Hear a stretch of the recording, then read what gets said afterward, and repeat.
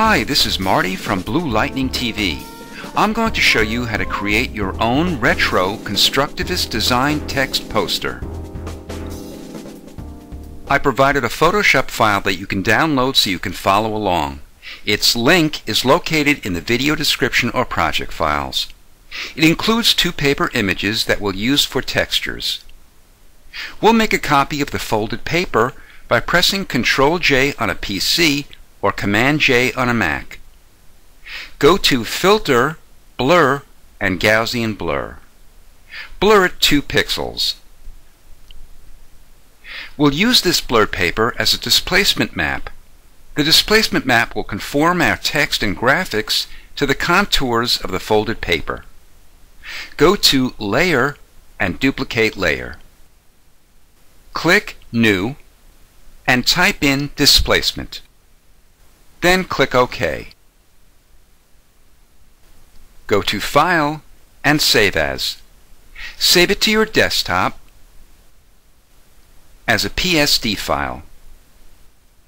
Then click Save. If you see this window, click OK. Close the tab of the displacement file. We can trash the blurred paper since we saved it to our desktop. We're ready to add text. It could be lyrics, a poem, a speech, or an excerpt from a book, anything you find inspirational.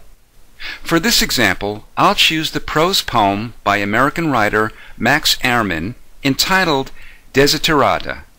Highlight your block of text and press Ctrl or Command C to copy it. Then, in a new browser window, type in Wordle.net. Wordle automatically generates designs called word clouds comprised of text. Click Create. Click inside the blank area and press Ctrl or Command V to paste your text into it. Or you can also choose to type out your own text in this area. You can make specific words larger in your design. The size of a particular word is directly proportional to the number of times that word appears in your block of text. For example, since I want the word peace to be one of the largest words in my design, I'll type it or copy it six times. I'll continue to highlight and copy words that I want to stand out. Since I'd like the word God to be the largest, I'll add it the most amount of times. When you're done, click Go and Wordle will create a word cloud featuring words that appeared most in your body of text. Click Language. I'd like to make all the text uppercase, so I'll click on it. Click Font and choose a typeface. You may have different fonts that are listed here. For this example, I'll use League Gothic. Click Layout. I'll choose straighter edges and mostly horizontal. Click Color. You can opt to create your color palette or choose one of the presets.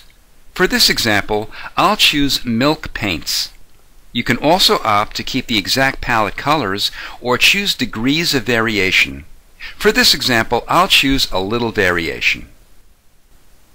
Click Open in Window and maximize it to full screen. Press the Print Screen key at the top of your keyboard. It's located to the right of the F12 key. Then close the window. Minimize your browser and go to File and New. Then click OK. Press Ctrl or Command V to paste the full screen image onto your document. Press Ctrl or Command E to merge these two layers into one. Press Ctrl or Command A to select it, and Ctrl or Command C to copy it. Click on the tab of the original PSD file that you downloaded, and press Ctrl or Command V to paste the Wordle image onto it. To get rid of the information above and below the words, You can paint them out using your brush or pencil tools, or open your rectangular marquee tool and carefully drag a rectangle just over the words. Invert the selection by pressing Ctrl or Command Shift I. We'll fill it with white, and since white is the background color, press Ctrl or Command plus Delete. To delete the selection, press Ctrl or Command D. Drag the top layer below the stained paper layer. Click off the eyeballs of the paper layers to hide them. Press Ctrl or Command G to make a group folder, and Ctrl click or Command click on the thumbnail of one of the paper layers to make a selection of its shape. Click on the Layer Mask icon to make a layer mask of the selection next to the folder. This will apply the layer mask to all the layers that are and will be in this folder. Click on the Word layer to make it active, and click on the New Layer icon to make a new layer above it. Drag out a rectangular selection approximately a quarter inch in from the edge of the poster. Invert the selection and fill it with white. Then delete the selection. We're ready to frame it with angular color shapes. Make the word layer active and open your pen tool. Click Shape. If you have CS5 or earlier, click this icon. Click on the Fill Color box and this icon to open the color picker. Click on a character to pick up its color and click OK. Click outside the poster, release your mouse or pen, and click again near a character. Release and click again outside the poster. Release and click to another point still outside the poster. Release again and click on the first point to close the path. You know you close the path when you see a small circle next to the pen symbol. To create a new angular shape, Click on another area outside the poster and repeat the steps. Click on the Fill Color box, the color picker, and click on a character that has a different color. Continue to make angular shapes filled with colors picked up from characters on your design. Make as many shapes as you like to frame your design.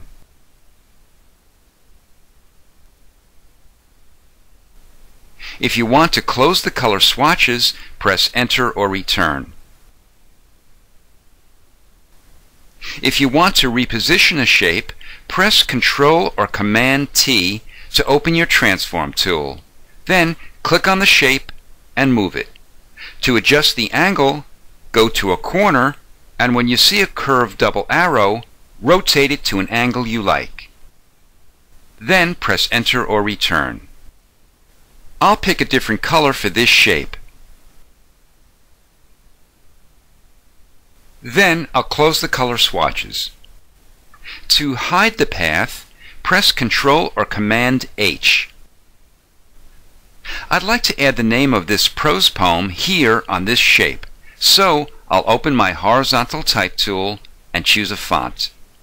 I'll use the same font as I chose in Wordle, which was League Gothic. The size is approximately 95 points, sharp, left alignment, and black for the color. Type out your text. To reposition it, open your Move tool and move it over one of the shapes. To angle it, open your Transform tool and rotate it. You can also resize it if you like. When you're happy with its size, angle, and position, press Enter or Return. To change its color, click on the FX icon and choose Color Overlay. Click on the color box and pick a color. I'll choose white. I'll close the color picker and the layer style window. Scroll down to the bottom and make the background active. We'll fill it with white and since white is the background color, press Ctrl or Command plus Delete. Make a composite snapshot of your image by pressing Ctrl Shift Alt E for Windows or Command Shift Option E for a Mac. Make the background active again and press Alt or Option plus Delete to fill it with black.